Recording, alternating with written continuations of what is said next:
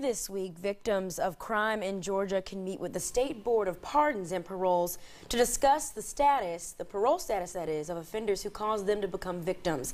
It's known as Victims Visitors Day, and Board Chairman Terry Barnard joins me to talk more about it, and we're so appreciative of you guys coming on, talking about everything. What exactly is Victims Visitors Day?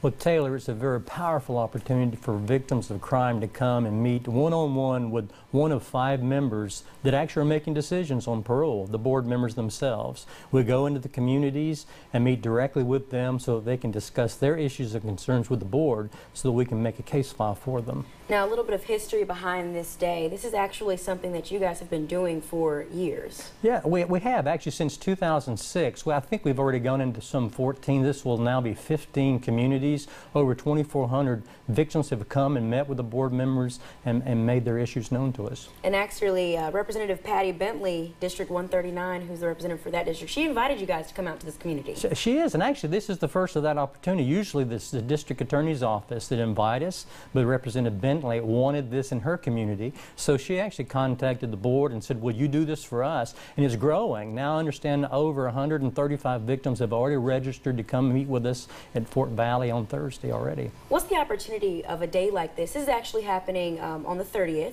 um, which is coming up.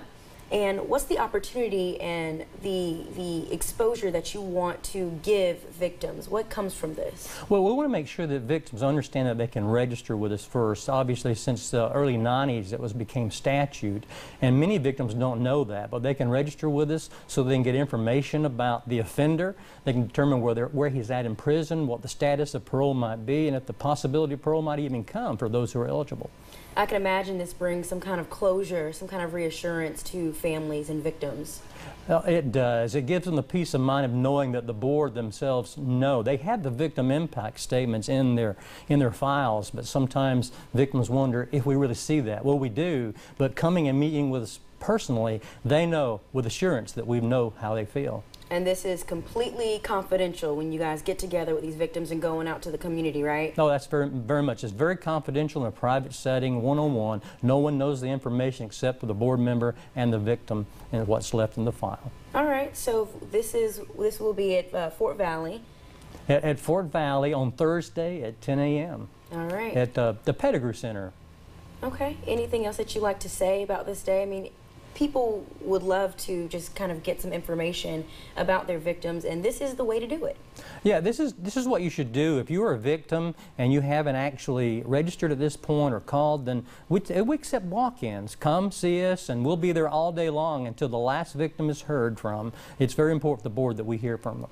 All right. Well, thank you so much for joining us. And crime victims are asked to RSVP with the Georgia Office of Victim Services. And you can do that by calling 1 800 593 9473. The deadline to make that call is tomorrow, July 28th. And stay with us. We'll be right back. Thank you so much again.